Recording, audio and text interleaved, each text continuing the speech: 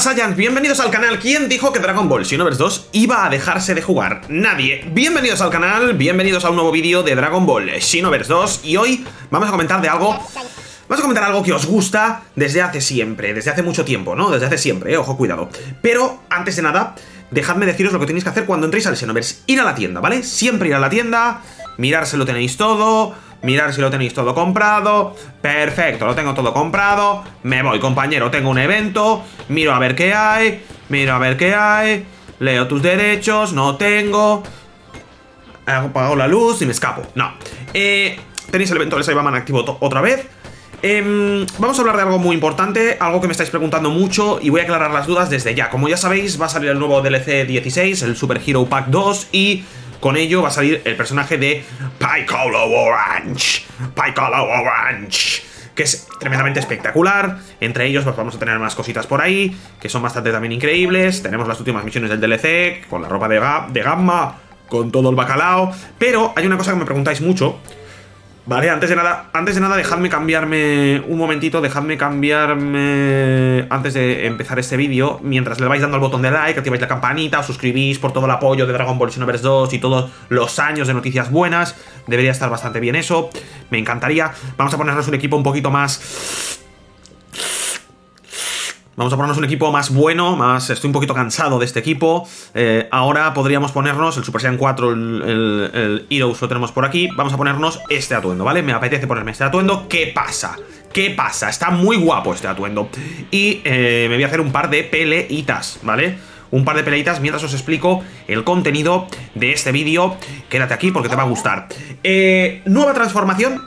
Nueva transformación en Dragon Ball eh, 2 con el DLC 16. Bueno, hay muchos rumores que hablan de un posible eh, Ultra Instinto en Dragon Ball Xenoverse 2. Una posible transformación Ultra Instinto. Volvemos a los rumores otra vez de las transformaciones del Ultra Instinto en Dragon Ball Xenoverse 2 otra vez con el DLC 16. Se espera que este DLC, que el número 16, sea el último, sinceramente, porque ya han habido muchos DLCs y yo creo que ya la vaca no da para más. Yo creo que bastantes DLCs hemos tenido y habría que eh, o plantear otro videojuego, ¿vale? O plantear otro videojuego o eh, el tema de los DLCs cortarlo o si se va a seguir manteniendo el Xenoverse 2 hacer una actualización para PS5 por lo menos que cambien muchas cosas porque este juego sí que es verdad que es el más jugado pero de, desde 2016 no se ha actualizado mucho, ¿vale?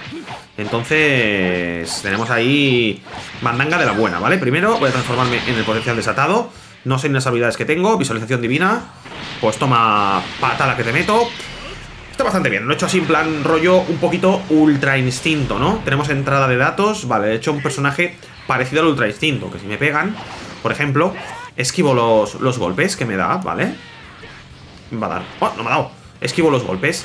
¿Por qué me he puesto este personaje? Pues para enseñaros el tema de la transformación del Ultra Instinto. Cómo está, eh, cómo está el tema, ¿vale? Y el tema es el siguiente.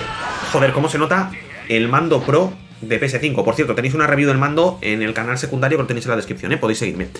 Chicos, no va a haber transformación de Ultra Instinto de momento. Bandai no se ha pronunciado ante una posible transformación Ultra Instinto en eh, Dragon Ball Xenoverse 2. Sé que muchos lo queréis, pero lo vuelvo a repetir. Y creo que esta es la última vez que lo voy a repetir para que todo el mundo eh, aclare sus dudas y quede claro esto. Y este vídeo lo utilicéis como referencia, ¿vale? El Ultra Instinto solo puede salir en dos ocasiones, ¿vale? Solo puede salir el Ultra Instinto en dos ocasiones.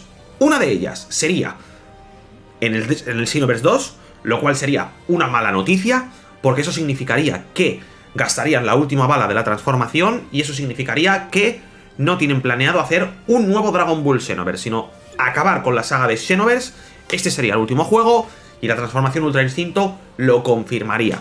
Y tenemos otra opción, que es anunciar este año, como los grandes filtradores estadounidenses filtraron el anuncio del Dragon Ball Xenoverse 3 y traer con el Xenoverse 3 como eh, revulsivo, como, eh, como hype, una de sus ventajas más buenas, que sería la transformación Ultra Instinto para el personaje, por ejemplo, Saiyan, por así decirlo, ¿no? Solo barajamos dos opciones, ¿vale? O en un DLC aquí, que sería...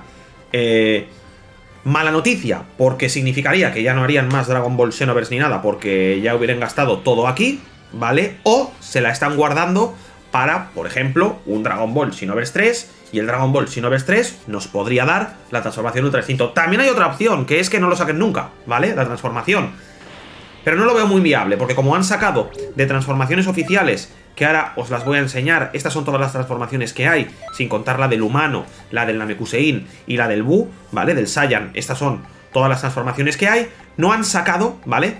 No han sacado el Ultra Instinto y han sacado pues el Super Saiyan Blue, el Super Saiyan Blue del futuro, el Dios Super Saiyan eh, que es el eh, rojo, el Super Saiyan 3 que lanzaron como, como hype en el Dragon Ball Xenoverse 2, todo esto pues ha quedado un poquito a ver, un poquito obsoleto. Sí que es verdad que eh, siete años hace que se lanzó el juego y para hacer un juego todavía más grande que este se necesitan años de desarrollo. Siete estarían bastante bien. Y junto al regreso del anime, creo que podría ser espectacular ver, pues bueno, pues un Dragon Ball Xenoverse 3 con el Ultra Instinto. Pero de momento, no hay transformación Ultra Instinto para tu personaje, no hay transformación Ultra Instinto en un nuevo DLC, simplemente lo único que se sabe eh, ahora es el Piccolo Orange, que es una auténtica pasada y que ya veremos a ver qué más trae ese DLC. Aparte del Piccolo Orange, se han visto también las habilidades y se ha visto también, que lo hemos visto aquí en el canal, se ha visto también la ropa del ejército de la Red Ribbon, que entiendo yo que saldrá,